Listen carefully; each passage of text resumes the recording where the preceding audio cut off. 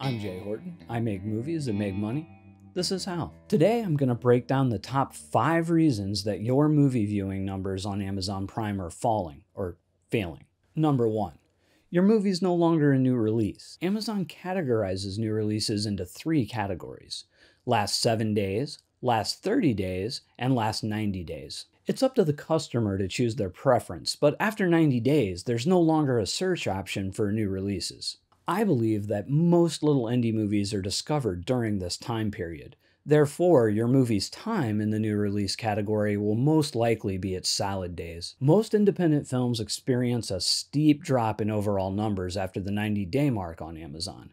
I've seen it happen over and over on my 20 plus releases. It'll most likely happen to you too. Don't be shocked if after the first three months you see a drop that's well over 50%. It's not that uncommon.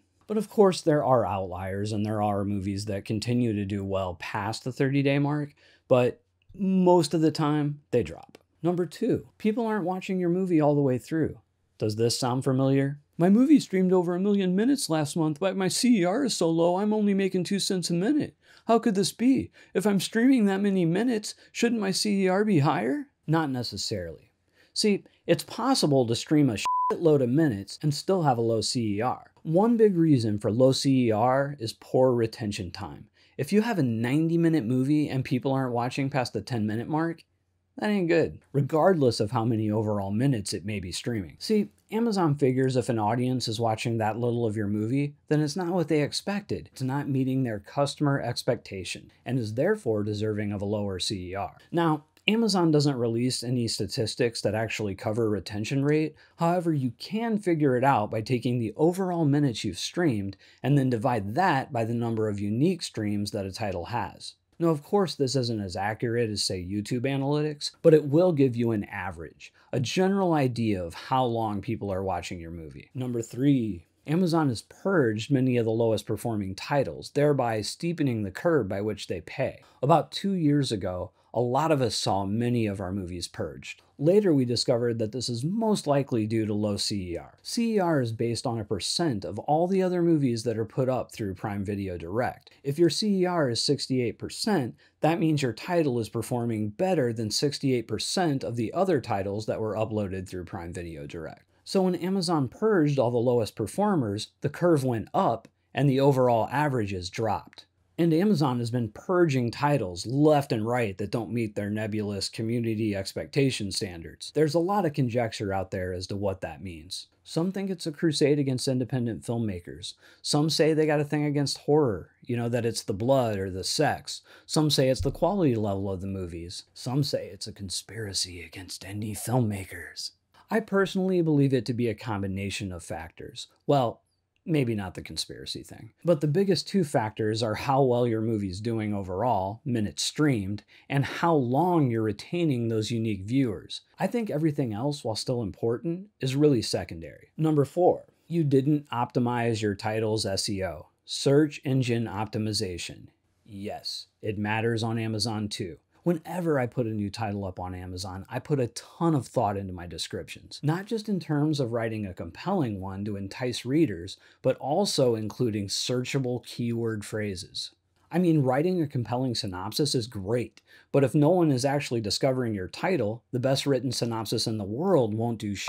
So, how do you optimize this? So, here's what I do. First, I write a rough draft, thinking of it only in a creative sense. I get the best, most compelling version of it I can.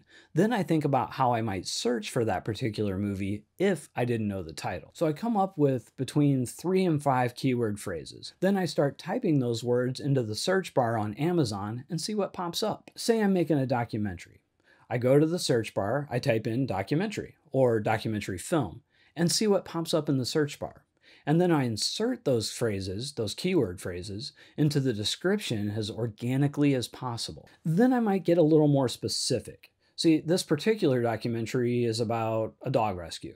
So I type in documentary dog or dogs, see what pops up. Then I head over to the Google machine and repeat this process. I use a mix of the Amazon and Google search engines to create my final keyword phrases. Believe it or not, this really does help.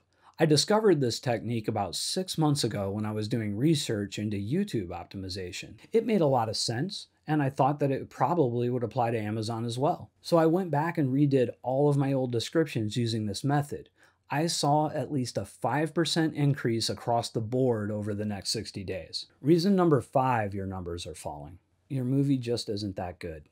Or it just isn't delivering what the audience wants it's really hard for us as filmmakers to be truly honest with ourselves about the actual value of our film as it pertains to an audience. This is something that I've struggled with for years. And just because we went through all the painstaking effort to complete our movies doesn't mean an audience has to watch it. Our movies are not entitled to an audience. That's something they have to earn. You have to give them a reason to come, i.e., marketing. Then you have to give them a reason to stay, i.e., quality and serving their needs. I mean, let's say you're really good at the marketing part. That means your first 90 days might be really great, but at the end of the day, the movie just isn't that good or isn't what your marketing promised, and people can't get through more than five minutes of it. So, over time, the movie's numbers will fall off, and most likely very dramatically after the 90 day mark. So, what's a filmmaker to do when their numbers are failing? Well, Take a hard look at your floundering project. Did you use SEO optimization? That may help some. Are you marketing to the right audience? Or are you just pushing it to your friends and other filmmakers that are not your real target audience? Fix that. It may help. But at the end of the day, you might just have to face the fact that you just missed the mark on this one.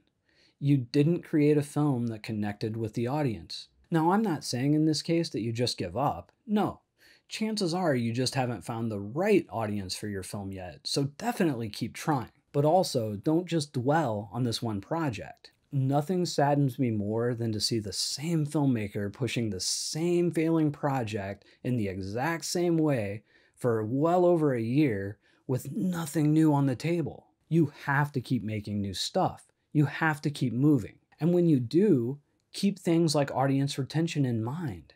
When I started thinking of my movies in terms of retention, I started seeing better results, and I believe you can too. If you're enjoying my videos, hit subscribe, and don't forget that thumbs up. Also, if you'd like to see me posting more often and would like to help me level up the quality of these videos, please consider supporting me on Patreon. All the cool kids are doing it. But whatever you do, just keep making movies.